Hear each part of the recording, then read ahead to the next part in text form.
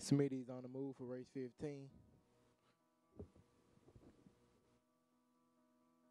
And they're off. Headed down the stretch, number one and seven fighting for the lead, followed by the six, two. Number seven has the lead, followed by the two, six, and five.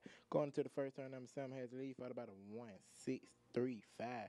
Coming on to the back stretch, number seven maintains that lead, followed by the one, six, and five. Still on the best stretch, number number seven still maintains that lead. Going around for, far turn, number seven still maintains that lead, followed by the six, one, and five.